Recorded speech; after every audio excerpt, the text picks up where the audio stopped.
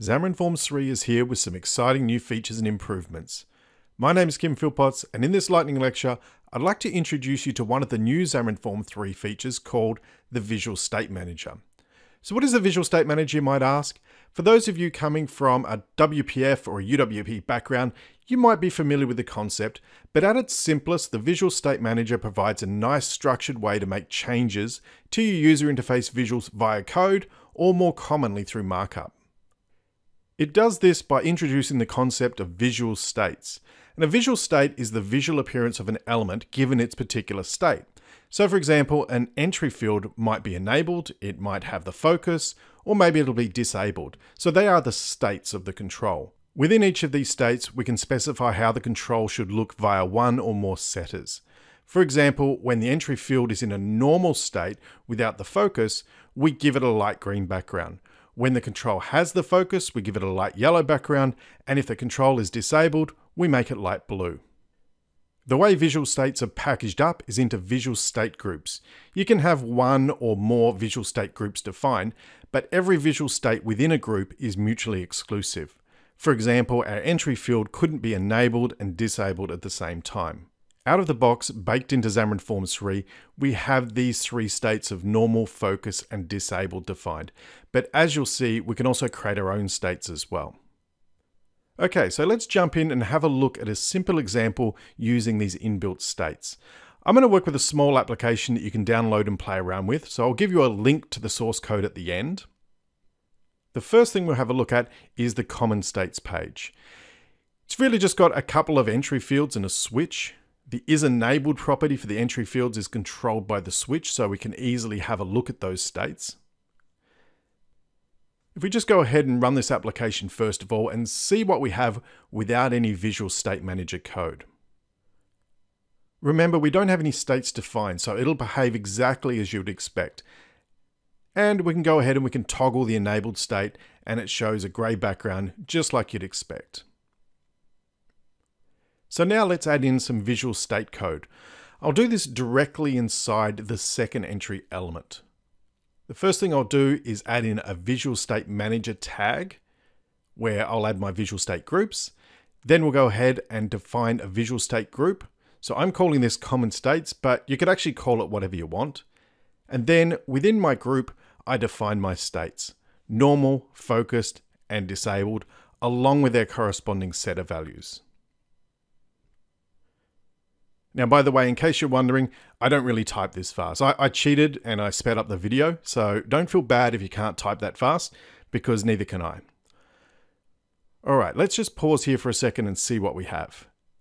I've got three states. Remember, these are the built-in ones, normal, focused, and disabled.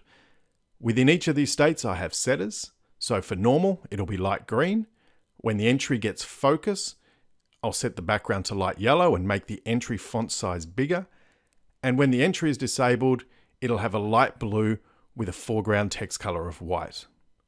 So let's go ahead, give this a run and see the results. You can see that the entry value in its normal state has a light green background as defined in my visual state, but the first entry is unaffected. When I move focus to the second entry control, it changes color to light yellow, and now I'm typing in a bigger font. And again, this is because that is what my focused visual state defines. And when I move focus back to the first entry, it returns to its normal state. If I now go and disable the entries via the switch, my entry control with the Visual State Manager defined turns a light blue color because it's now in the disabled visual state.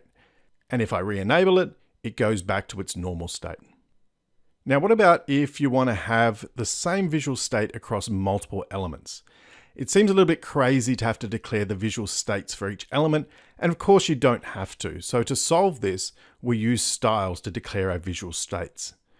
We can create an implicit style at the page level that will affect all entry fields.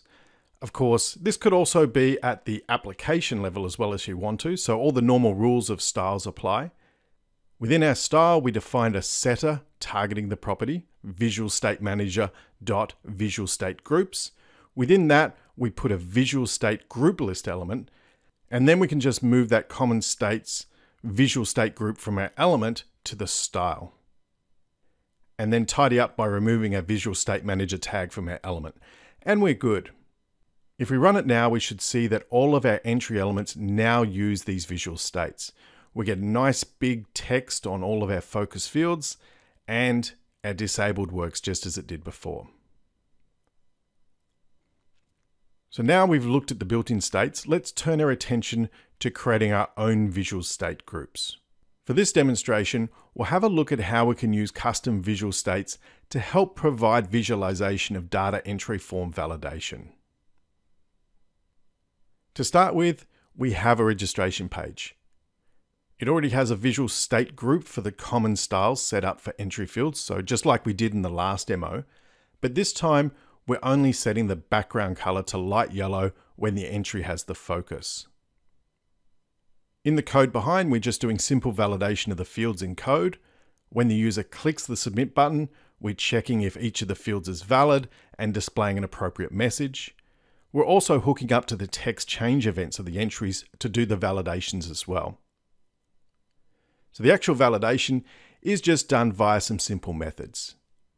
The username needs to have a length greater than zero. The email must be a valid password string, as asserted by the system.net.mail namespace, and the password just needs to have greater than six characters. Let's go ahead and run the application again.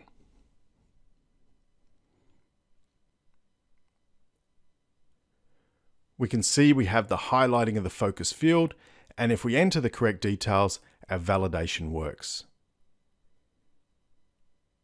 If we change the fields to be invalid, our validation on the button catches we have invalid values.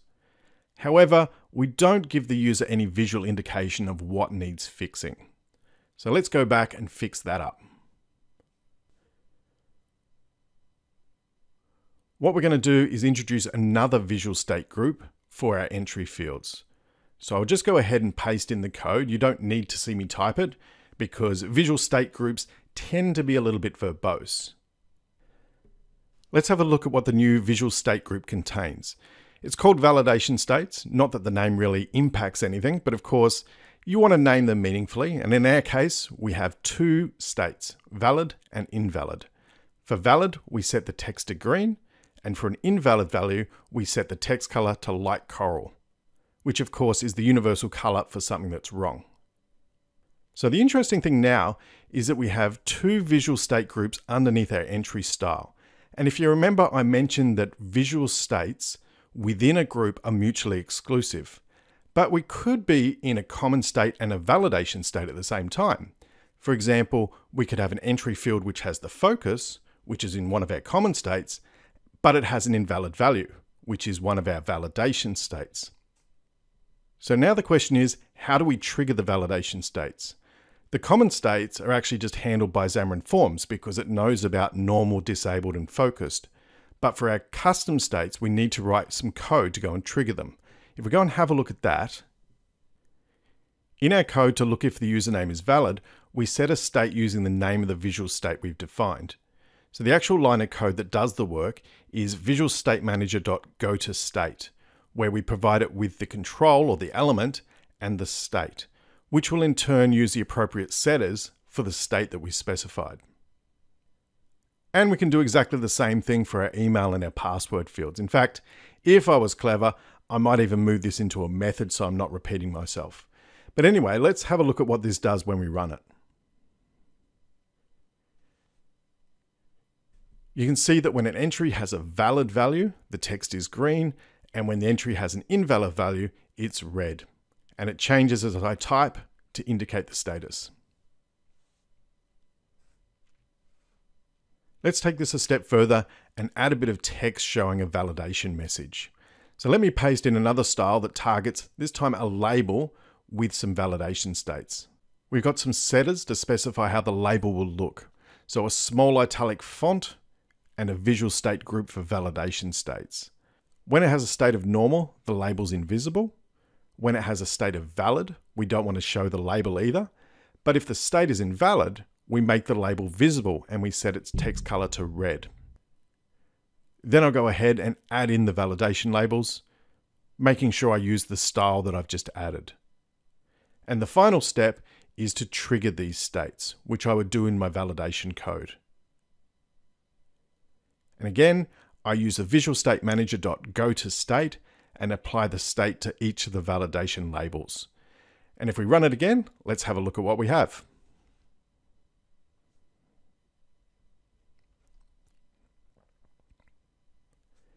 Now as we type in the entry fields, if we have an invalid value, it will show a message. But notice we're also still showing the correct color in our entry field as well. Let's put in one more thing. How about for the password, we also give the user some hints about the password strength. So again, I'll paste in another style. This one's called password strength, and it's based on the validation message. But this time we have three states. We have invalid, which will show the text in red. We have weak password, which will show in blue and show an appropriate message in the text property. And we have strong, which is shown in green and displays essentially a congratulations message. Now what we'll do is we'll go and update our password message label to use the new password strength style. And finally, we go and update our validation code for the password to determine the state based on the length of the password and then set the state on our password message label.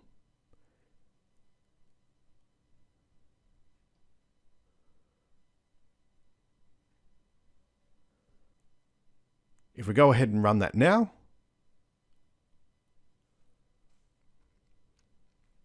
we can see that the password is showing the appropriate password strength state message based on the length of the password. So that's pretty cool.